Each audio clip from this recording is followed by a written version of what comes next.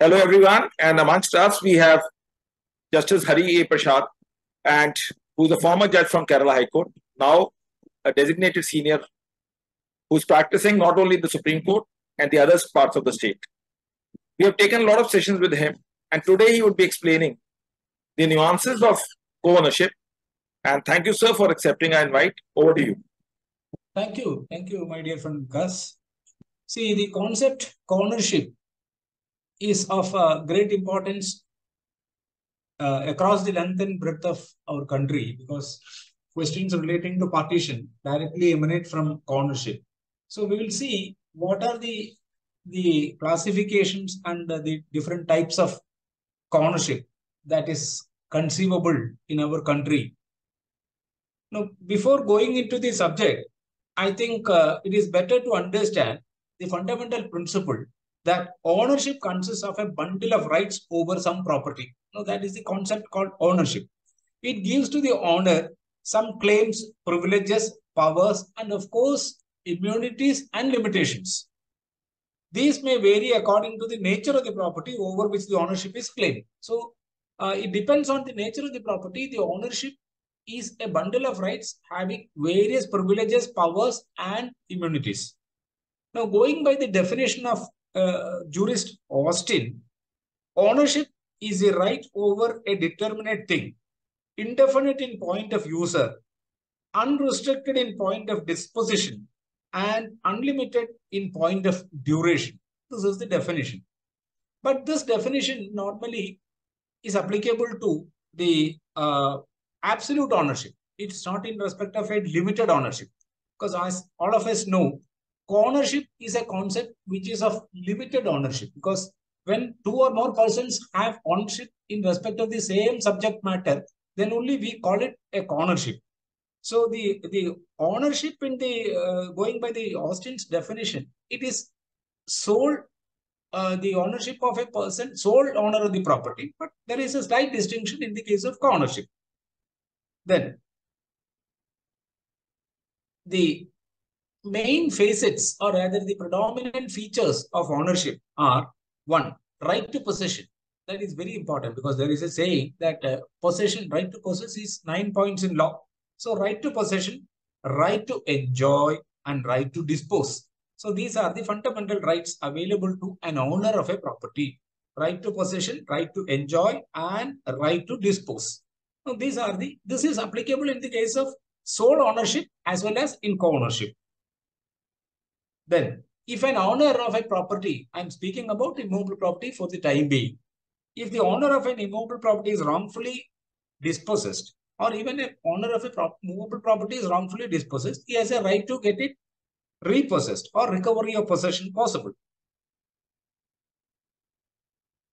But an absolute sole owner of a property, if he so desires, can share his interest with some other person. That is, I mean, suppose a, a one acre of property exclusively belongs to one individual and he decides to sell half of his right over the entire one acre of property, not 50 cents by partition. The entire property, his half right is sold to a second person. Then he becomes a co-owner with the original sole owner and that way he can create a derivative right. Then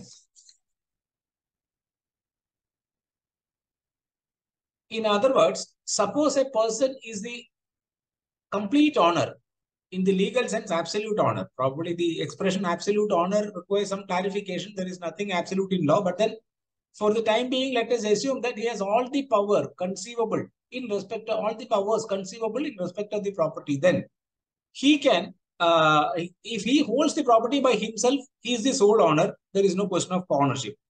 But he may decide to, as I told you earlier, he may decide to uh, give away a portion of his right, say half or one third or one fourth, whatever it is. If it is transferred to one person or other persons, then he becomes a co-owner along with the transferees.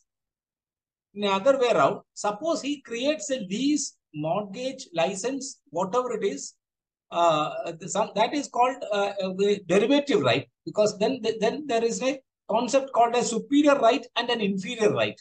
So if that is created, it is not a co-ownership. It is actually another dual relationship of a, a, a, an absolute right on one person and a derivative right in respect of the other persons. So the difference between co-ownership and derivative right is that in the case of co-ownership, the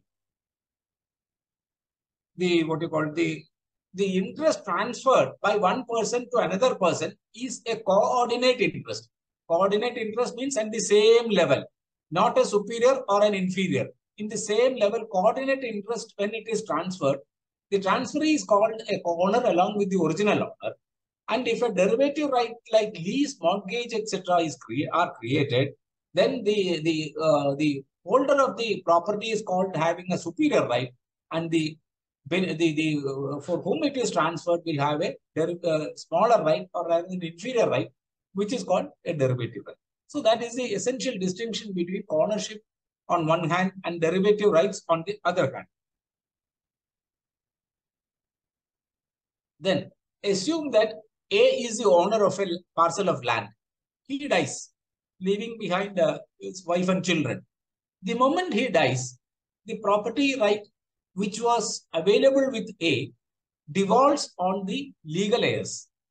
So that devolves according to the shares claimable under the personal law. Hindus according to Hindu Succession Act, Muslims according to their personal law, Christians according to Indian Succession Act, whatever it is. So whatever personal law applicable to them, the property of the deceased owner devolves on the uh, legal heirs and they becomes, the moment they becomes co-owners. Similarly, suppose uh, two persons or three persons purchase property by pooling their resources. They are not uh, related by blood or they are, they are total strangers, assume. Suppose three persons who are total strangers purchase property by contributing different sums. Going by certain the, the provision in the TP Act, you will find your type your uh, this entitlement to property will depend upon the price, uh, the share in the price that you paid. Suppose one person pays uh, 1 lakh, the other person pays uh, 60,000, the other person pays 40,000, uh, altogether 2 lakhs, and uh, they purchase a property. Then their share interest may be different in the property. So the person who has paid the maximum amount will have a higher right than the middleman, than the lowest person. So uh, in that case, even though their shares are different, shares in the property are different, they are co-owners because there is no rule that uh, each co-owner should have the same uh, interest in the subject matter of the ownership. That is another principle. Then, in theory, every co-owner is assumed to be the uh, entire, uh, is assumed to be the owner of the entire property. Otherwise, every co-owner has all the rights and privileges in respect of the property that can be claimed by the, if he had been the sole owner of the property. That is why we'll go later. There are certain extensions possible. I'm just telling you the principles for the time being. So fundamental test of ownership is whether they have coordinate interest. Coordinate interest, I'll explain once more. It is interest in the same level, having the uh, same nature. It is not a derivative. Uh, it is not a derivative right. It is neither a superior right nor an inferior right. At the same level. So the fundamental test is uh, to determine determine whether there is a ownership or not is to find out whether there is a coordinate interest.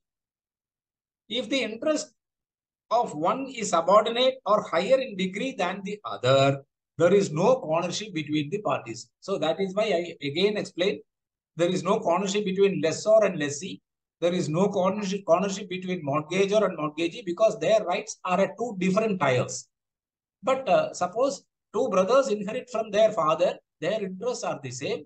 So they are having coordinate interest. That is the main incident of ownership.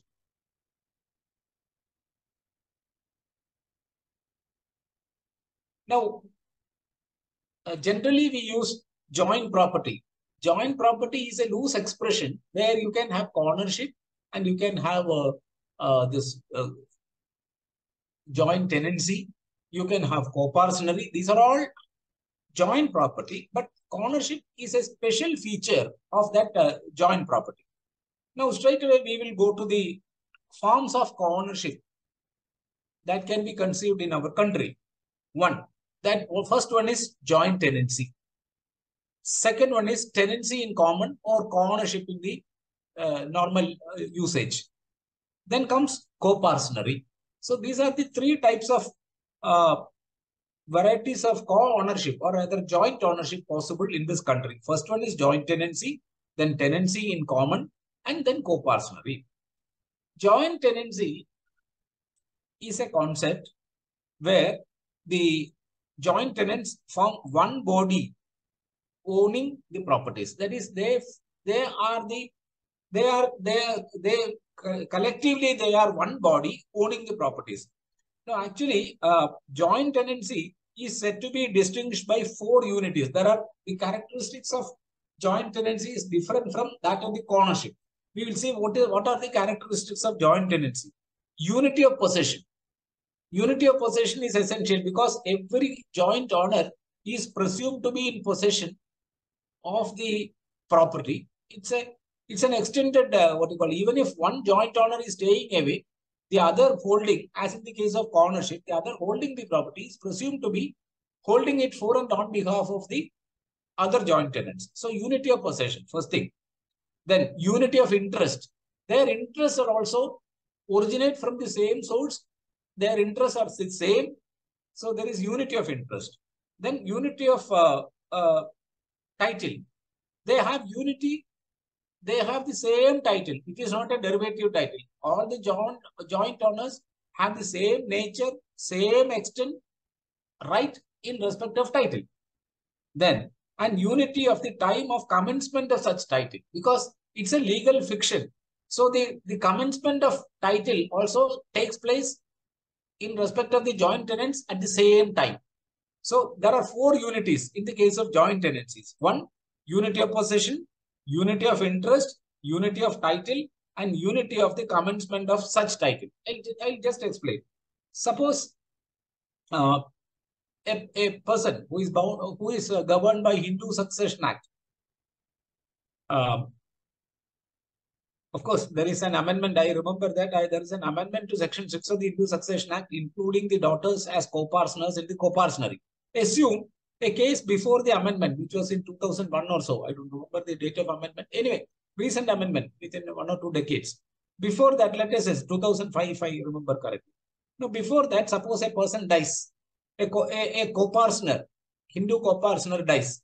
So if the, when the rule of survivorship was there, the uh, the property owned by the person will devolve on his uh, this person's entire person's entitled to uh, the the right according to the principles of section 6 of the Hindu Succession Act as one unit. So suppose there are three uh, persons claim uh, claiming his right or rather entitled to claim his right, then the right originally belonged to the deceased Hindu co-partner will devolve on the three persons uh, in equal proportion at the same time.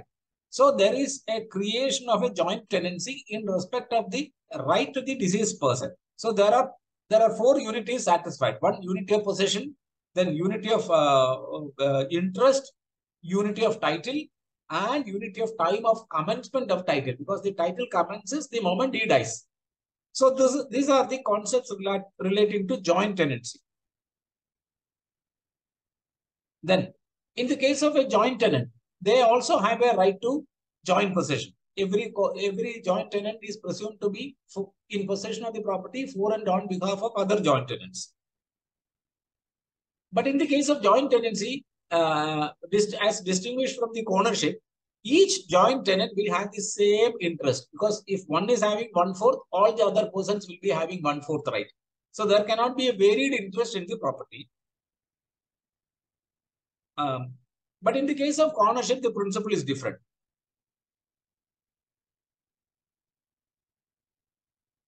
And uh, as I explained earlier, the joint tenants' right uh, is a, uh, uh, rights are accrued to them from the same source.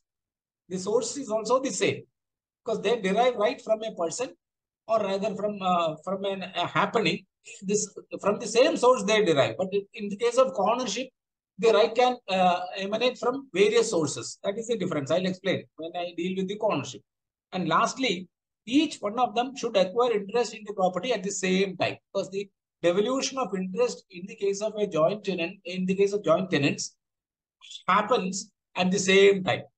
Now coming to co-owners, tenancy in common, the difference is that the ownership does not require all the four requisites as in the case of joint tenancy. Because uh, possession is a common ingredient for both joint tenancy as well as for uh, tenancy in common.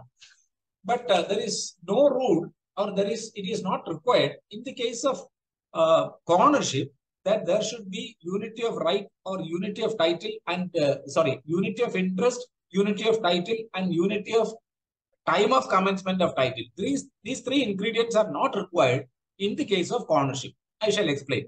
Suppose i have a property say one acre of property.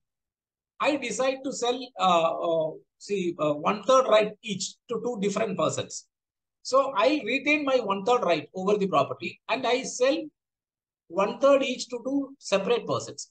Assume that I am selling one third right to B or to A today. So I'll be retaining two third right over the property and uh, uh, A will get one third right as on today. Then after say six months, I sell my one third right. For, uh, again, I sell one third right to B. B. Then B will get uh, one third right after six months. So there is no identity of time. Uh, time factor is not there. Rather, the commencement of title uh, does not depend on single time. It at different times it happens. So still there is a ownership. I, I have a uh, one third right. The other two persons have one third right each. So there is no rule in the case of ownership that the title should commence at the same point of time. And as in the case of joint tenancy, I told you earlier, the joint tenants must have equal right in respect of the, uh, the, the property concerned.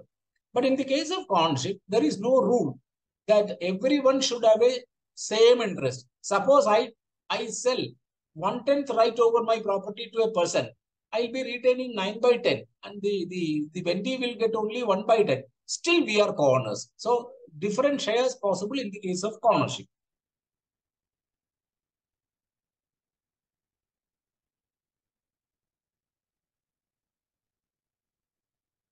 Uh, the the uh, other aspect regarding co-ownership is that uh, even if even if the the uh, co-owner is not in possession of the entire property or even if he does not have the entire right of the property, he is presumed in law to be the absolute owner of the property for all practical purposes. For example, uh, suppose somebody is trying to trespass upon the property, one co-owner can file a suit against the the the the the, uh, the what about apprehending trespass against the person who is likely to trespass upon the property for an injunction or other release, as law may uh, require in this case, that uh, uh, the property should be protected. So he has every right to uh, see that it is enjoyed in a manner as if he is the full owner of the property. That is one incident of ownership. Then, before coming to other aspects of ownership, let me explain co-parcenary also. Now, co-parcenary is a concept even available in English common law principle. Because we are we speak co-parcenary uh, mainly in the context of Hindu law, Christian Hindu law. But even in under English system, co-parcenary is uh, recognized, but there is a slight distinction between Hindu co-parcenary and uh, the English concept of co-parcenary. Co-parcenary arose in English common law wherever land descended to two or more persons who together constituted an heir. As in the case of our co-parcenary also, the entire right devolved on co-partners was originally belonging to one individual. From one individual, we they trace their right to uh, uh, to claim ownership over the property. Co-partners constitute a single heir and they occupy a position intermediate between joint tenants and tenants in common. So co-partnery in English law is a position between joint tenants on one hand and tenancy in common on the other hand. Because tenancy in common, we have seen, it need not be under the, what you call, it, under the same interest at the same point of time, the title need not commence. There are distinctions. In the case of joint tenancy also, even there are four unities required. But uh, English common law says that it is this coparcenary under English concept is something in between joint tenancy and tenancy in common. Now coming to Hindu Mitakshara coparcenary, the principle is slightly different because as we know, um, the coparcenary is recognized under Hindu law when all persons, the when the coparceners are lineally descended from a common ancestor, then only the coparcenary will be recognized under Hindu law. And uh, you know, coparcenary is uh, actually it is a uh, it's a statutory prescription. Coparcenary is formed by operation of law. It can't be created by contract between the parties. It's a natural thing happens under the uh, under the, the relevant law applicable to the parties. Then the expression Hindu joint family has to be understood in the context that it, it takes in not only coparceners, but also all the female members, minor members, those who are removed uh, three degrees away from the uh, the acquirer of the property. So all the all the members in the family collectively are called joint family, and the coparceners normally, according to Hindu law, uh, being the sons, grandsons, and great grandsons of the holder of the joint property for the time being. So coparcenary or three generations, sons, grandsons, and great grandsons of the holder of the joint family property for the time being. So that is the distinction between joint family and coparcenary.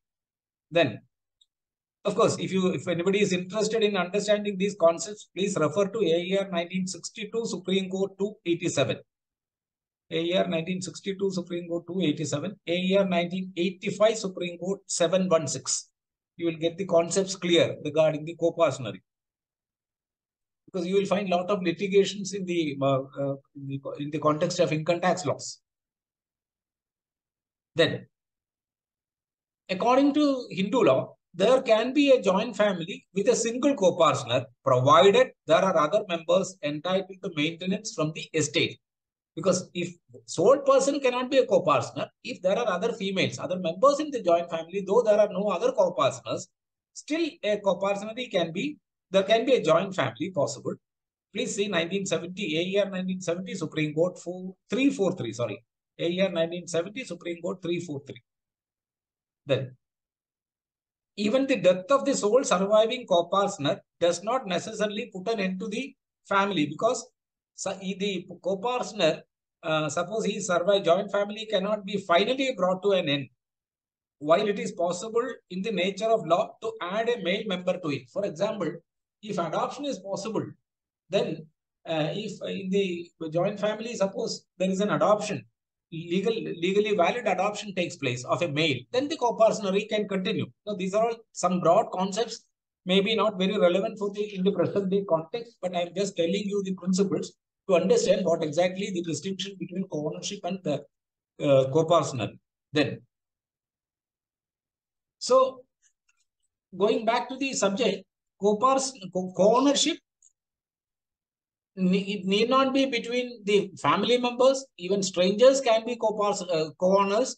Suppose a Hindu, a Muslim, and a Christian together buy property uh, uh, by uh, what you call pooling their resources.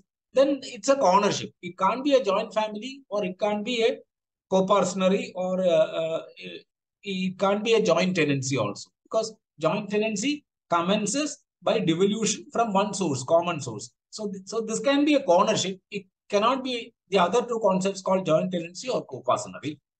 Then,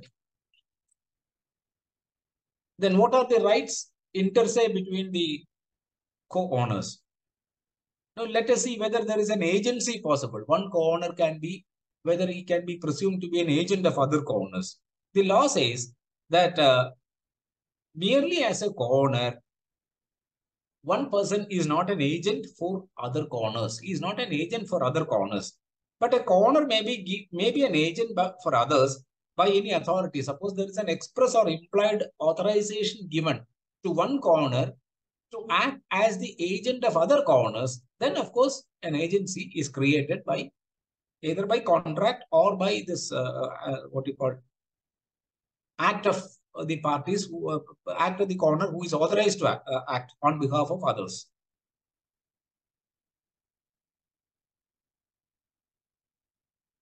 As, as I told you earlier, one co-owner for protecting the interest of himself and of others can file a suit for uh, preserving the property for injunction, recovery of possession, whatever it is required. He can file it on behalf of others. Only thing is that in the plaint, he shall aver that uh, apart from him, such and such other persons are also having a right because he can't uh, file a suit. Uh, or he, he can file a suit, but then the other co-owners are not bound by his suit. If he makes an averment in the plaint that he is the sole owner of the property.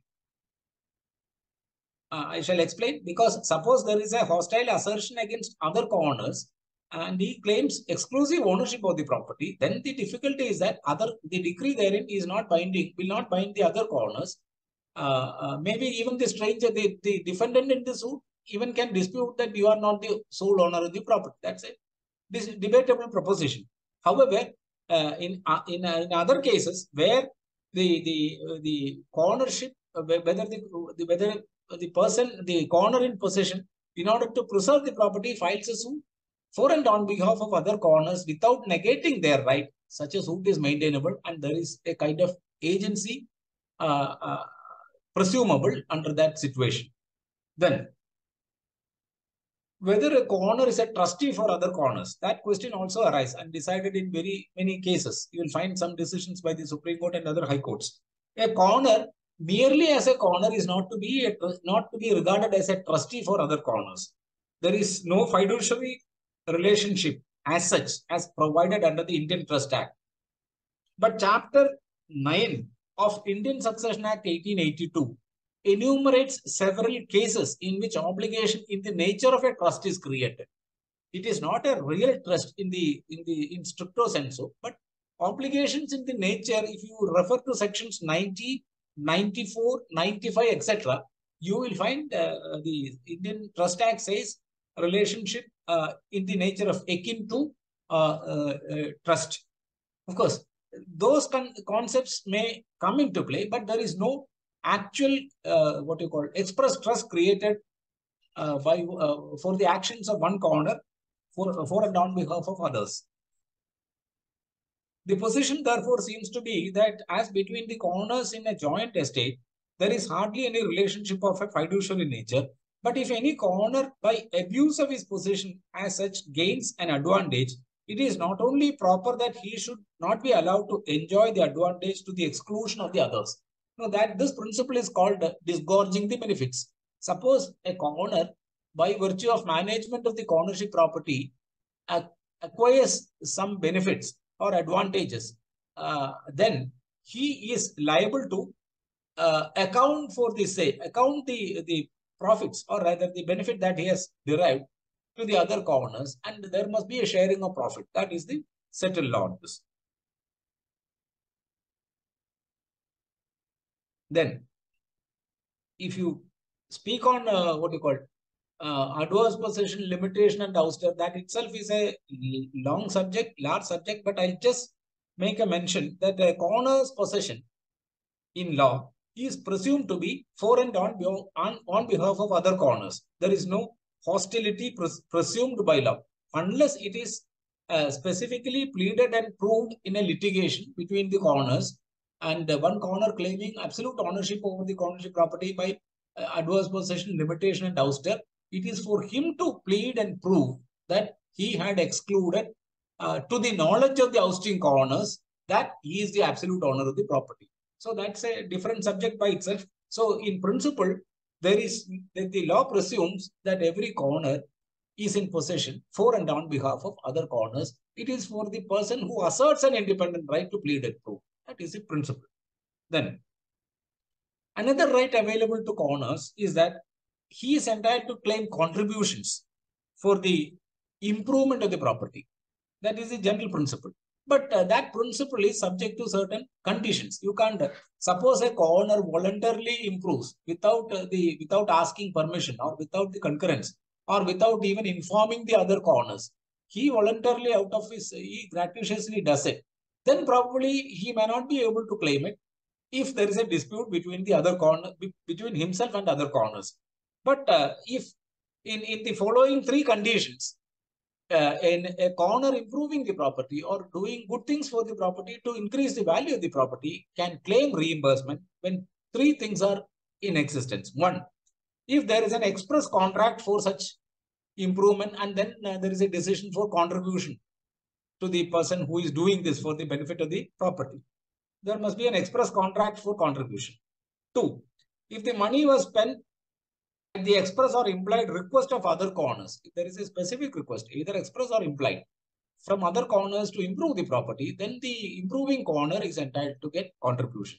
And three, if the case uh, falling under section 70 of the Indian Contract Act is made out, then also he is entitled to get uh, uh, reimbursement or rather contribution for the uh, uh, proportionate contribution from other co-owners. Under section 70 of the Indian Contract Act, there are three situations. Work done should, should not be unlawful. 70 says you can't claim contribution if the work done is unlawful. So it must not be unlawful activity. Then uh, the second one, that he should not have intended to do the work gratuitously. Suppose the co-owner does a gratuitous act, then there is no question of claiming contribution. Then three, that the other co-owners should have enjoyed the benefits of improvement. Suppose they have enjoyed, the other co-owners uh, by act of the, the improving co-owner uh, have benefited and they enjoyed the benefit, then of course he, they are morally and legally bound to uh, pay contribution to the person who caused the improvement. So these are the situations. So contributions generally, if it is voluntary, uh, gratuitously and without uh, either against the wish of the other co-owners or without asking them, then the co-owner is not entitled to get contribution. But in other situations, he may be entitled to get contribution for improving the co-ownership property. Then, suppose the co-owner uh, discharges a common liability. Suppose there is a liability on the estate, on the property, and three owners are there one co-owner out of his pocket clears the debt. So there is a revenue re recovery proceedings or some, some liability on the property. One co-owner uh, discharges the liability. Certainly he is entitled to get a contribution uh, from other co-owners who are benefited by this man's uh, act. So these are the concepts regarding co-ownership uh, uh, uh, in the, the in the real practice life experience. These are the these are the uh, characteristics of this right. And uh, we have seen three different types of ownership conceivable in India: joint tenancy, tenancy in common, and co-partnership. This tenancy in common is known as co-ownership. Joint tenancy is, uh, as I told you earlier, there are four unities which is not required in the case of ownership or tenancy in common. And the co-partnership under English law is different from Hindu co-partnership. And Hindu co-partnership of course, uh, the, the wider definition as of now, because the act has been, Hindu Succession Act has been amended, uh, and it takes in doctors also. Co-partnership right is uh, uh, in respect of persons have uh, removed three degrees from the uh, joint holder of the property. And these are the incidents. I think, Mr. Vikas we will stop it here, and if there is any question, probably I can answer now. Yes, sir. I think it couldn't have been explained in a much better way than what you've explained. I'm just taking a few questions that have come on the WhatsApp.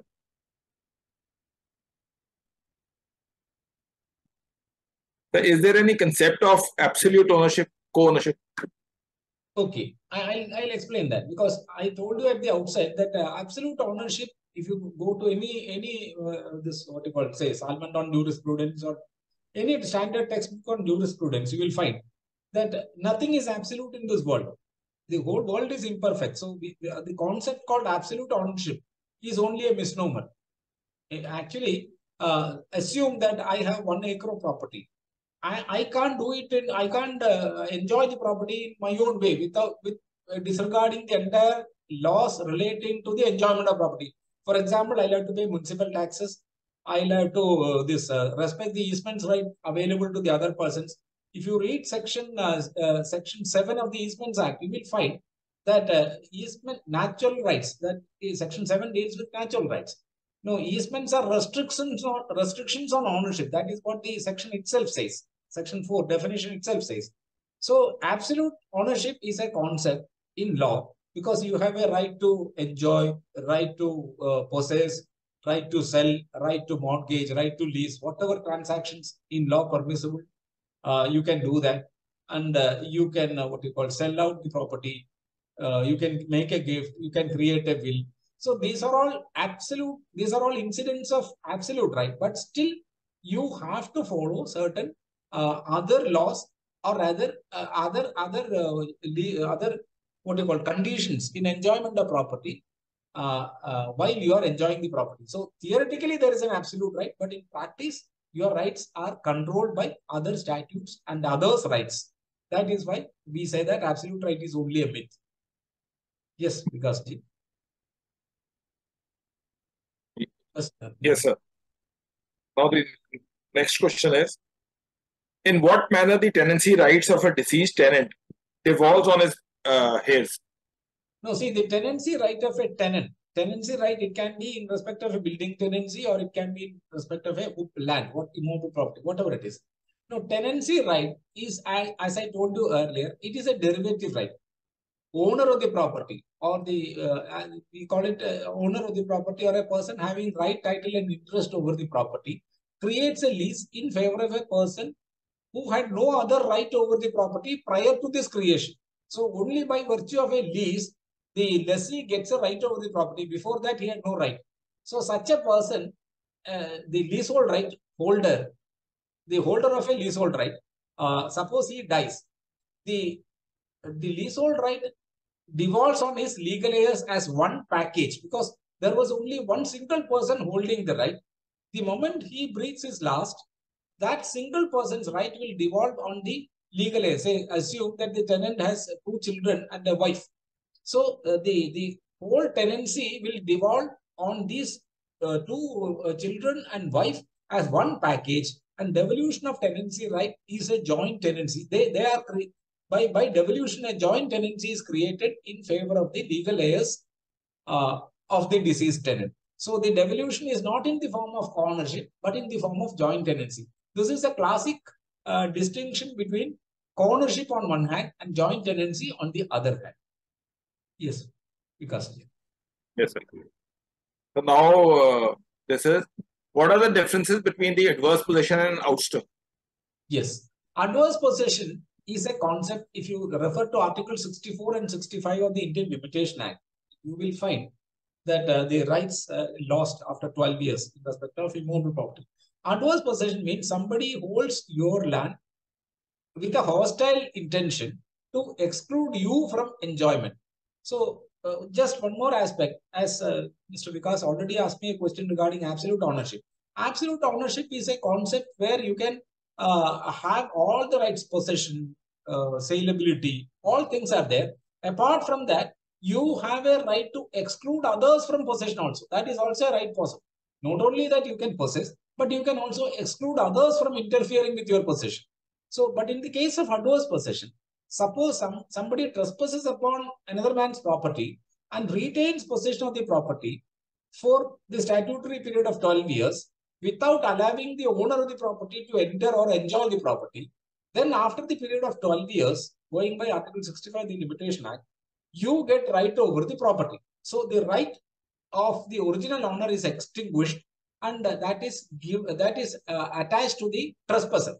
Now that is called the concept of adverse possession. But in the case of co-ownership, the essential difference is that every co-owner is presumed to be owner of the property. For all practical purposes, he can hold the property and enjoy the same as if he is the full owner. But in the case of uh, uh, co-ownership, if you want to have a hostile right established against other co-owner or co-owners, then the it is the burden of the a co-owner claiming exclusive right to show that he has negated right of other co-owners. He has denied the right of other co-owners. He has uh, uh, entered, re-entered the property with a hostile animus to others uh, and to exclude them. And he has, uh, what do you call it? He has prescribed the right of uh, title. Uh, he has prescribed the title to the property for holding it in a hostile position for more than 12 years. So the essential difference between a stranger trespasser claiming title by adverse possession and a co-owner claiming right and title by adverse possession against other co-owners is that in the case of a stranger, there may not be ouster because ouster is a concept which under law is that the, the fact that you are holding it with a hostile animus or that you are negating the right of other co-owners in the case of ouster has to be brought to the notice of the other co-owners. So you can't do it in a clandestine manner. You can do it in a what you call uh, stealthily. You can do that. You have to by your gesture, either by words or actions, you must convey to the other co-owner that you are holding it as your own, not on for and on behalf of the other co-owners. And uh, there must be an express indication uh, going from you to the others that you are excluding them from your right. So ouster is a thing which requires an uh, what you call which requires a an express communication that you are negating is right. But in the case of adverse possession, that is not required because everyone is uh, uh, under a legal obligation uh, to consider to to what you call be vigilant in respect of his property. If somebody stranger trespasses it up and you do not do anything within 12 years, your right is lost. But in the case of co-ownership, uh, since they have a dual relationship as equal owners, the law requires that ouster, which is a communication of your hostility to the other person in express terms, which is not required in the case of strangers. Yes. We'll just take the last question because I know that you are pressed with time. Can a co-owner seek eviction of a tenant from the leasehold? Yes. No, a co-owner, as I told you, is presumed to be uh, the absolute owner of the entire assets, entire property, uh, for all for all practical purposes. Therefore, he can seek eviction of a tenant uh, uh, from the premises for and on behalf of other owners. But one rider is that he cannot claim that it is his exclusive property. It, he must recognize or respect the rights of other owners and he represents the whole body of the owners, joint owners, or rather, sorry, let us use the correct expression, co-owners. He represents the, uh, the body of uh, co-owners and uh, he can seek eviction and that is covered by a direct decision of the Supreme Court uh, by Justice uh, V.R. Krishna Iyer in 1976. That's a very interesting decision. Please refer to AIR 1976 Supreme Court. I don't remember the page now, which is uh, uh, uh, clearly laying down the law and dealing with the rights of owners in respect of seeking eviction from tenants. So, thank you, sir, for sharing your knowledge. And those who are not subscribed to the channel, they can do that. And we will request that we have got all knowledgeful sessions of Justice A. Hariprasad. You can watch them. They are on the playlist and even otherwise if you Google with Beyond Law CLC. So do stay connected with us. Thank you everyone. And uh, thank you, sir, for sharing your knowledge. And we keep on pressing you and you have always been kind enough to share your knowledge. Thank you. Thank you, Vikas for the opportunity. Thank you.